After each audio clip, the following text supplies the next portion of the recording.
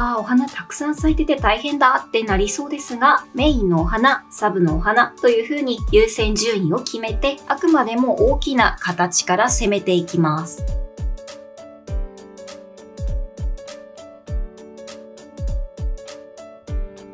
こんにちは、山田幸子です。私のチャンネルでは水彩画の描き方や画材に関する情報、そして実際に描いてみる動画などをアップしています。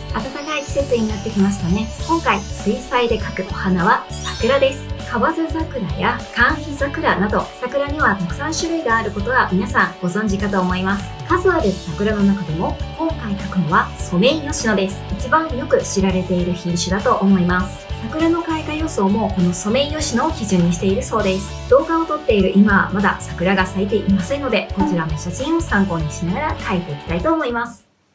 それでは書く前にまず画材の紹介をしていきます。水彩紙はウォーターフォードホワイトを使用します。紙の目は中目で、サイズはサムホールサイズです。この水彩紙は発色がいいですし、元の紙が白目なので、桜のような繊細な色も表現しやすいかなと思って選びました。スケッチブックではなくて、4辺がしっかりと糊で固められているブロックタイプを使います。別にスケッチブックタイプに書いてもいいんですが、水をたっぷり使った表現にはしっかり糊付けされているブロックタイプがいいと思います。で、鉛筆で軽く下書きをしてから色をつけていくんですが、その下書きのための鉛筆はステッドラーのものを使います。濃さはだいたい HB から 2B くらいまでがおすすめです。で、線を修正するときは、こちらのビヨーンと伸びる練り消しゴム使います。練り消しゴムは紙を傷めずに消すことができて、水彩画にもってこいです。そして絵の具はホルベインの透明水彩60色セットを使用します。60色すべて使うのではなくって、桜っぽい色、この辺の赤系とか紫、この端っこに出してある白を使いながら塗っていきます。まあ、あんまり水彩画で白を使いたくない方は、赤や紫を水で薄めながら使うと良いです。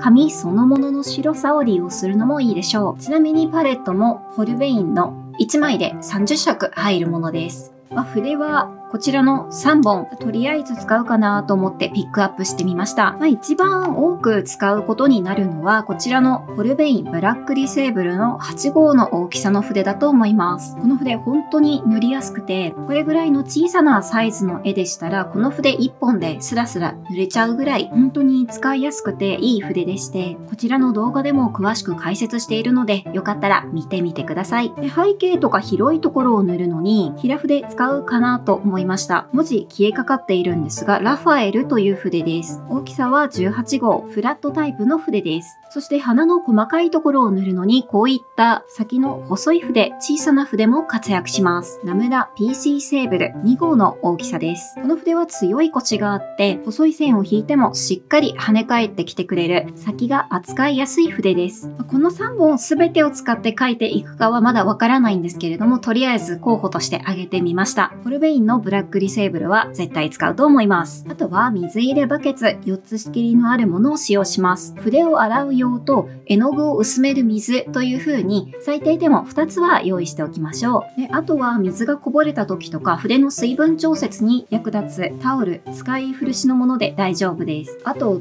絵の具がはみ出しちゃった時とか、とっさに修正する時のためにティッシュを横に置いておくと安心です。以上の画材を使って水彩画を描いていきます。それでは下書きから始めます。真っ白な画面を見ると何をどう書いたらいいんだろうって身構えてしまう人も多いかもしれないですが、いきなり完璧な形で書こうとしないで、だんだんブラッシュアップしていけばいいっていう楽な気持ちで臨むときっといい絵になると思います。まずざっと全体の位置を決めます。この写真だと枝が見えづらいですが、線を引いておくと真ん中の軸が分かりやすくなります。わあお花たくさん咲いてて大変だってなりそうですが一旦落ち着きましょう。焦点が当たってメインになっている花はこの4つだけです。あとの花は外側の輪郭を描くだけとかささっと軽く描く程度にとどめて押さえた表現にするといいです。メインのお花は画面の中心にドドンと描いちゃいましょう。一つの花びらをざっくりと丸い形に例えて下書きするといいです。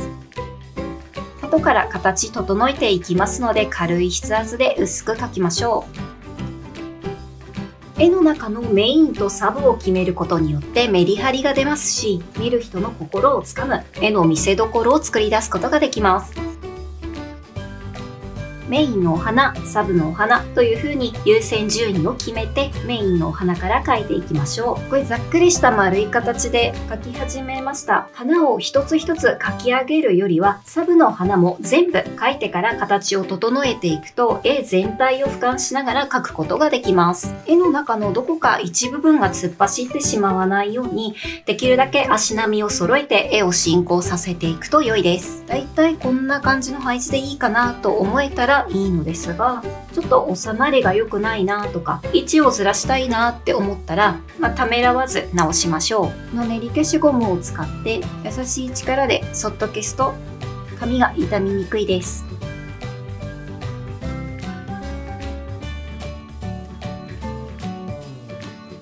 ソメイヨシノは5枚のひらひらした薄くて柔らかい花びらをしています。始めはうっすらピンク色でだんだん白っぽくなります。ポコッと出たところから3つか4つくらいの花が咲いています。こうした特徴を踏まえつつ花の形を整えていきます。まず中心部分を小さな丸で捉えてからそこから花びらを5枚生やすという風に描くといいです。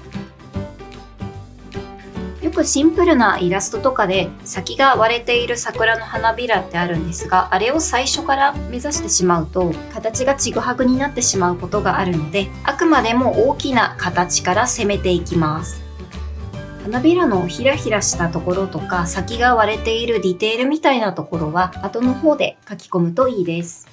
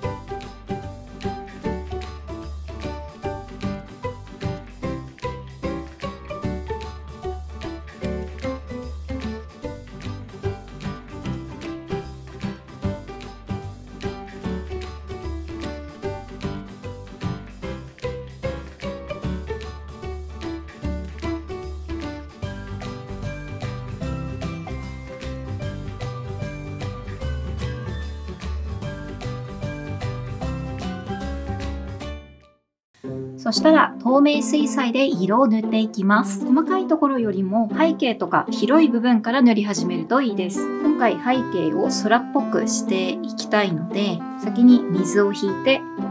青をにじませます。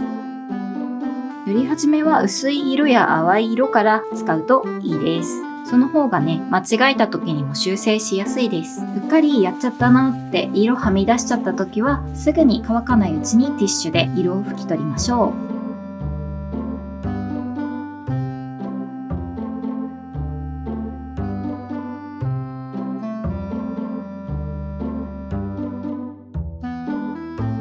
花びらは淡くて薄めの白っぽいピンクを作ります。そこまでピンクっぽいことにこだわらずに紫とか赤とか取り入れながら塗り重ねていくといいかもしれないです。サブの花とか背景とかだったら一発で塗りを決めてもいいかもしれませんが主役にしたい桜の花はよく観察して塗り込むとメリハリが出てきます。下書きの時と同様に時々全体を見直しつつ描いていきます。